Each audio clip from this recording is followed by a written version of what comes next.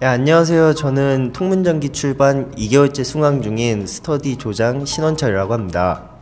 안녕하세요. 저는 기출반 2개월째 성하고 있는 한현수라고 합니다. 원철이 형은 통문장 기출 분석반을 등록한 이유가 있으신가요?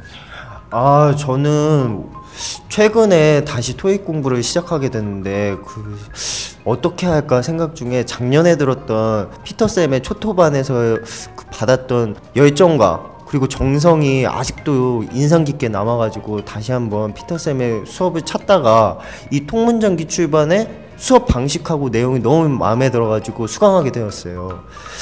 그 현수 씨는 토익 공부를 왜 시작하게 됐죠? 제가 가고 싶어하는 직장에 공인 영어 점수가 필요해서 토익 수업을 듣게 되었습니다.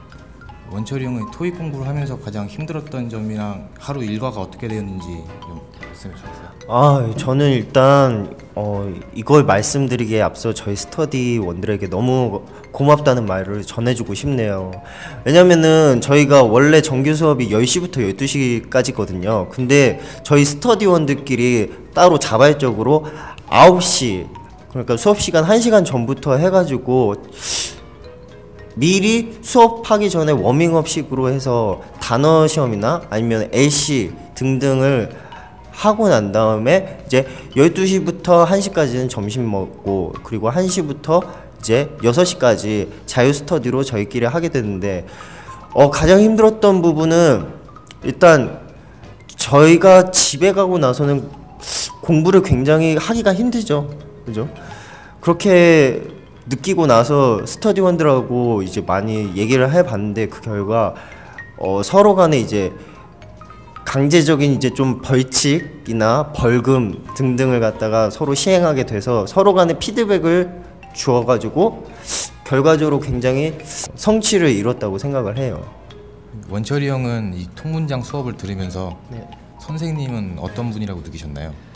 아, 저는 일단 첫 수업에 선생님의 그 모습이 아직도 인상 깊은데 그 첫 수업 때 피터 쌤의 그 열정과 정성 그리고 저희가 원하면은 언제든지 도움을 주겠다는 그런 모습에 너무 인상이 깊었고요.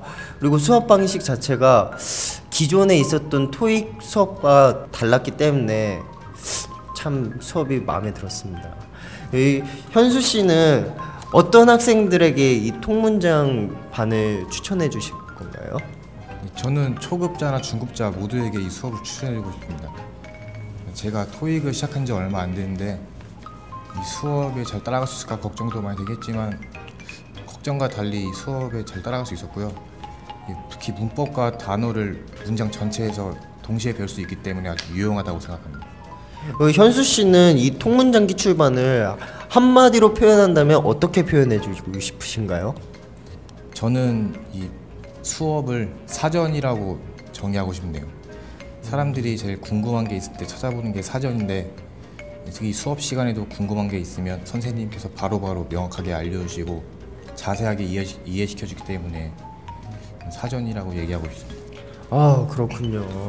아 저는 저희 이 통문장 기출반을 한마디로 표현한다면 오답 노트라고 표현해주고 싶어요. 왜냐면은 일단 저희 점수 때 특히 600회에서 700점대 사이에서 이제 많이 실수한 부분들이 안다고 했던 그런 착각했던 그런 부분들의 실수들을 이 수업에 매 수업을 통해서 다 잡아주기 때문에 저는 그렇게 정의를 해주고 싶네요. 어, 한해 마무리를 저희 총, 통문장 기출 학생들과 같이 보낼 수 있어서 정말 좋았고요. 그리고 피터 쌤에게도 같이 한 해를 마무리해서 정말 뜻깊고 좋았던 시간이었다고 생각을 합니다.